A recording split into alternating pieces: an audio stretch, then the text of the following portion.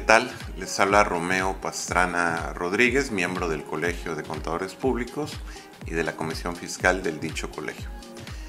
Bueno, pues hoy quiero hablarles de un tema que para mí es bien importante porque pues lamentablemente he visto que es un, un punto que normalmente las empresas no lo cumplen.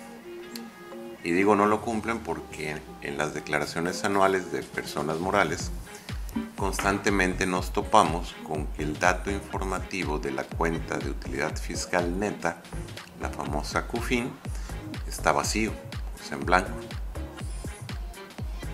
Y cuando uno solicita los registros, pues te topas con que los registros no existen. Y habrá varios factores por lo cual esto ocurre. Uno de ellos es porque a veces no se tiene presente la importancia de controlar esa cuenta, los beneficios que ésta tiene. Y pues seguramente en varios es porque no se sabe determinar de manera precisa el saldo de dicha cuenta. Bueno, la cuenta de utilidad fiscal neta es la utilidad que ya pagó impuestos sobre la renta. Por lo tanto, cuando se vuelve en dividendos a los socios, pues los socios prácticamente llevan incluido en el dividendo un ISR acreditable del 30%. En muchos casos no les sale a pagar impuesto, incluso recuperan impuesto los socios. Y en algunos casos menores, pues cuando son ingresos muy grandes, pues sí les sale a pagar un impuesto, pero proporcionalmente pequeño, nunca mayor a un 5%.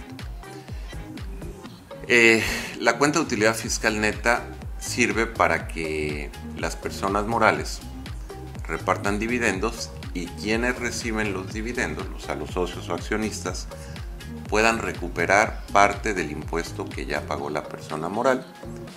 Y eh, esto, esto ocurre cuando hacen su declaración anual los socios como personas físicas.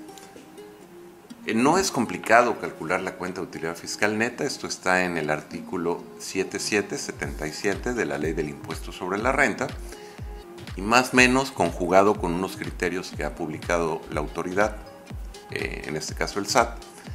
Eh, la utilidad fiscal neta, la cuenta de utilidad fiscal neta se calcula de manera muy sencilla y muy, voy voy a mencionar lo más frecuente, se calcula incrementando de la UFIN de cada ejercicio y se disminuye de los dividendos que se pagan.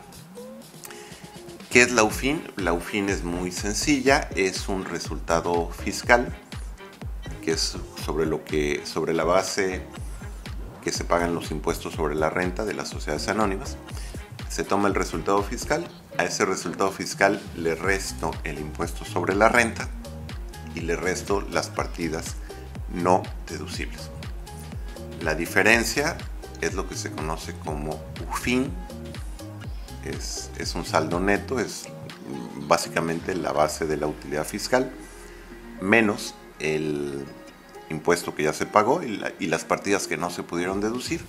Eso se conoce como UFIN y eso alimenta a la CUFIN.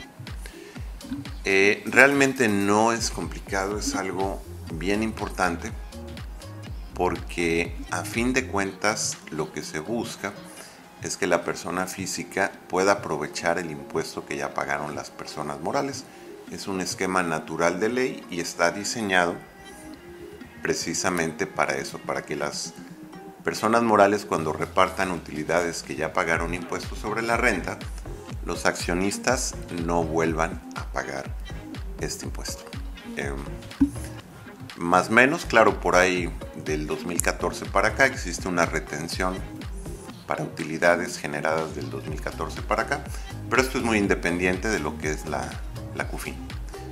Conclusión, este, amigos del, escuchas del canal de YouTube del Colegio de Contadores, les invito a que lean detalladamente el artículo 77, que puedan calcular su CUFIN de manera adecuada y por un lado cumplir con la obligación que me pone la ley de llevarla, calcularla y determinarla, y por otro lado aprovechar los beneficios que la misma ley prevé para cuando se repartan utilidades de esa cuenta de utilidad fiscal. De cualquier cosa, estamos aquí a sus órdenes en la Comisión Fiscal del Colegio de Contadores Públicos del Estado de Veracruz. Muchas gracias.